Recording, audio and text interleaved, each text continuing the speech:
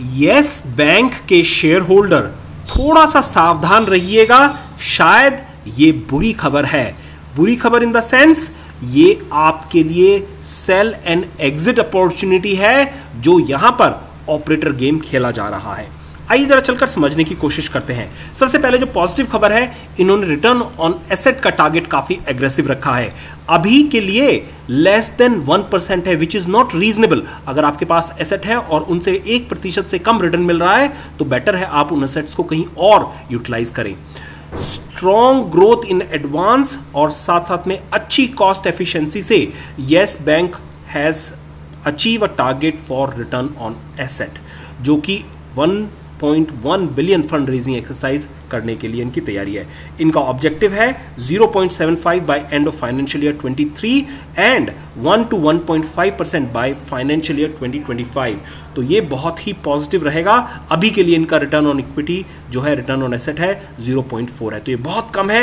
इसको धीरे धीरे ग्रेजुअली इंक्रीज करेंगे, जो कि पहले 0.5 ऑलमोस्ट दुगना टारगेट और उसके बाद में 1.5 उसके बाद डबल टारगेट रहेगा 2025 तक। तो ये पॉजिटिव खबर मानी जाएगी। फंड रेजिंग इतनी आसानी से मेटेरियलाइज नहीं हो पा रही थी येस बैंक के लिए। वाई फंड्स आर नीडेड एक बात समझने की कोशिश कीजिएगा जरा।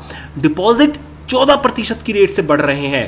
लोन सिर्फ़ 14 प्रतिशत की रेट से बढ़ रहे हैं। तो जब आपके लोन कम डिमांड में है और डिपॉजिट ज़्यादा आ रहे हैं तो आपके पास तो कैश सरप्लस होना चाहिए। फिर आपको फंड रेजिंग की ज़रूरत क्यों पड़ रही है? उसका कारण है NPA net is still positive but NPA is causing an issue जिसकी वजह से उनका कैश जो है घटता चला जा रहा है। अगर आपके पास गुल्लक है, उसमें से आप पैसे निकालते रहेंगे तो एंड ऑफ़ द डे आपकी गुल्लक में कुछ नहीं बचेगा। इसलिए इनको फंड्स की ज़रूरत है। अब फंड्स आ चुके हैं, वो अच्छी बात है इनके पास में, जिसके चलते हुए स्टॉक करीब 20 प्रतिशत बढ़ चुका है।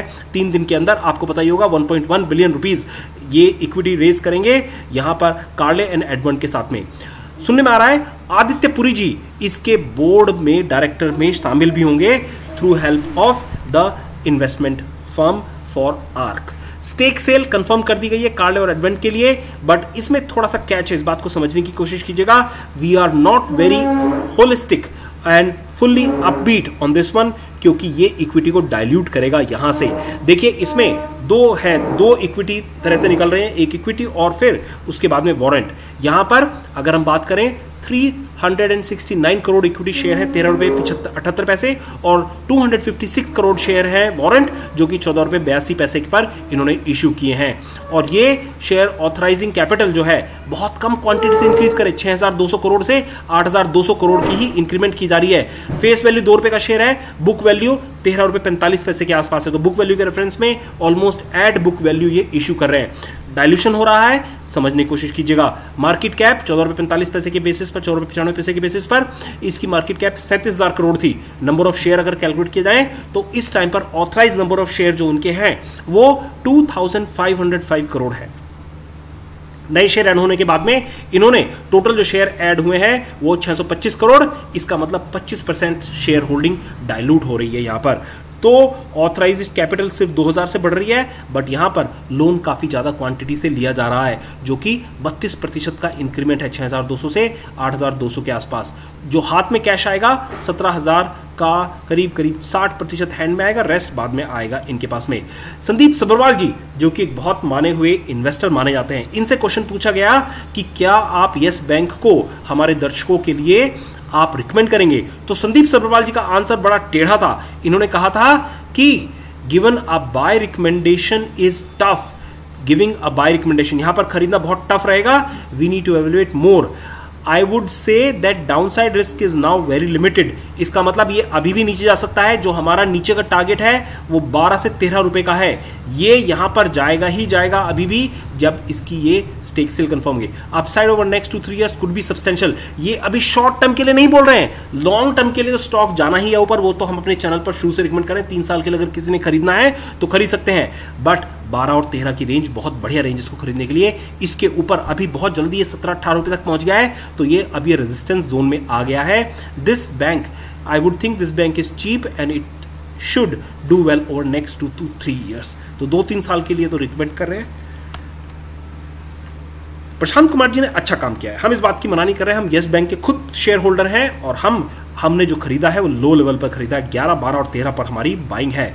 देखिए, पंद्रह हज़ार करोड़ रुपए, ये यहाँ पर this will reduce the stock price once it get materialise अभी उससे पहले, ये न्यूज़ ऑफिशियल होने से पहले यहाँ पर जो एक्टिविटी पार्टिसिपेंट कर रहे हैं, वो ऑपरेटर हैं। हमारी कैलकुलेशन के अकॉर्डिंगली ये 20 परसेंट से ज़्यादा फॉल करेगा और इसका भाव फिर से 12 और 13 तक आने की उम्मीद है। ये हमारा क्लियर कट म्यूचुअल फंड का सपोर्ट है यहाँ पर।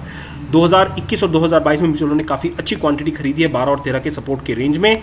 इस खबर का इंपैक्ट अभी शॉर्ट टर्म के लिए थोड़ा पॉजिटिव है बट ये फिर से सपोर्ट के आसपास जाएगा। अगर आज का भाव देखें तो सत्रह रुपये पंद्रह पैसे के आसपास गया काफ़ी तगड़े वॉल्यूम के साथ बढ़ा है। और यहाँ पर अगर इसी रेट से बढ़ता रहा तो दो दिन के अंदर ये 50 day moving average 200 day moving average के ऊपर पहुँच जाएगा यहाँ पर। तो हमारे हिसाब से हम इसमें से शायद यहाँ पर एग्जिट लेने की कोशिश करेंगे अब, क्योंकि वॉल्यूम के साथ बढ़ना, उसके बाद आप देखिए, जब जब इस तरह का बढ़ोतरी आई है, आप पिछला हिस्टोरिकल डाटा देख लीजिए, ये यहाँ पर न्यूज़ बेस्ड इन्फॉर्मेशन थी, जो बारह रुपये से बढ़कर सोलह रुपये तक चला गया था। उसके बाद हुआ क्या? वो फिर से बारह तेरह के आसपास आया। फिर कुछ कंसोलिडेशन किया और उसके बाद में जब ब्रेकआउट दिया तो अब फिर से सत्रह रुपये के आसपास चला गया है और हो सकता है, ये अब नीचे को फिर से तेरह रुपये तक फिर से जाने की कोशिश करेगा। सुपर ट्रेंड का सपोर्ट, तेरह रुपये चौवन पैसे। आर एस आई यहाँ पर करीब अस्सी के ऊपर पहुँच गया जो कि एक स्ट्रॉन्ग ओवरबोर्ड जोन है। तो यहाँ पर रिटेल निवेशकों को फ्रेश निवेश की हम लोग बिल्कुल भी सलाह नहीं देंगे। ऑपरेटर गेम चल रहा है। ये एक्चुअली एग्जिट अपॉर्चुनिटी है ओवरबोर्ड जोन में आने की वजह से। प्लीज़ कंसल्ट फाइनेंशियल एडवाइजर और अगर हमारी वीडियो में दी गई जानकारी अच्छी लगे तो चैनल को सब्सक्राइब कर सकते हैं। ट्रेनिंग करनी है मेल ड्रॉप करेंगे। जय हिंद जय भारत।